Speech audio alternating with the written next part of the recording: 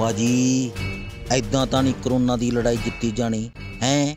ਯਾਰ ਕਿਦਾਂ? ਜਿਹਦਾ ਜੀ ਕਰਦਾ ਬਿਨਾਂ ਗੱਲ ਦੇ ਮੂੰਹ ਚੱਕ ਕੇ ਬਾਹਰ ਚਲਾ ਜਾਂਦਾ ਸੱਥਾਂ ਤੇ ਜਾ ਕੇ ਬਹਿ ਜਾਂਦਾ ਤਾਸ਼ਾਂ ਕੁੱਟੀ ਜਾਂਦਾ ਮੋੜਾਂ ਤੇ ਖੜ ਜਾਂਦਾ ਜੇ ਕੋਈ ਸਮਝਾਵੇ ਤਾਂ ਐਦਾਂ ਅੜ ਜਾਂਦਾ ਜਿਵੇਂ ਕਰੋਨਾ ਦੀ ਮਹਾਮਾਰੀ ਨਹੀਂ ਆਈ ਕਰੋਨਾ ਕਾਰਨੀਵਲ ਚੱਲ ਰਿਹਾ ਹੁੰਦਾ ਹੈ? ਹੋਰ ਯਾਰ ਡੰਗਰ ਇਨਸਾਨ। ਹੋਰ ਗਾਲਾਂ ਕੱਢੋ। ਲਾਣਤੀ ਕਿਸੇ ਥਾਂ ਦੇ ਸਮਾਜ ਦੇ ਦੁਸ਼ਮਣ ਘਰੇ ਟਿੱਕੇ ਨਹੀਂ ਬੈਠ ਸਕਦੇ। ਬਾਹਰ ਦਸ ਮਾਮੇ ਦਾ ਵਿਆਹ ਤਰਿਆ ਇੱਕ ਮਿੰਟ ਇੱਕ ਮਿੰਟ। ਤੁਹਾਡੇ ਕੋਲ ਗਾਲਾਂ ਨਵੀਆਂ ਨਹੀਂ ਹੈਗੀਆਂ? ਕਿਉਂ ਯਾਰ? ਇਹਨਾਂ ਗਲਾਂ ਨੂੰ ਕੀ ਹੋ ਗਿਆ? ਇਹ ਤਾਂ ਉਹੀ ਗਾਲਾਂ ਨੇ ਭਾਜੀ ਜਿਹੜੀਆਂ ਅੰਗਰੇਜ਼ ਸਿੰਘ ਨੇ ਆਪਾਂ ਨੂੰ ਕੱਢੀਆਂ ਸੀ ਹੈ? ਕੰਜਰਾ ਅੰਗਰੇਜ਼ ਸਿੰਘ ਨੇ ਆਪਾਂ ਨੂੰ ਕਿਹਾ ਆਪਾਂ ਲੋਕਾਂ ਨੂੰ ਕਹੋ। ਭਾਜੀ ਕੀ? ਆਹੀ ਘਰੇ ਰਹੋ ਸੇਫ ਰਹੋ ਕਰੋਨਾ ਨੂੰ। ਬਾਏ ਬਾਏ ਕਹੋ।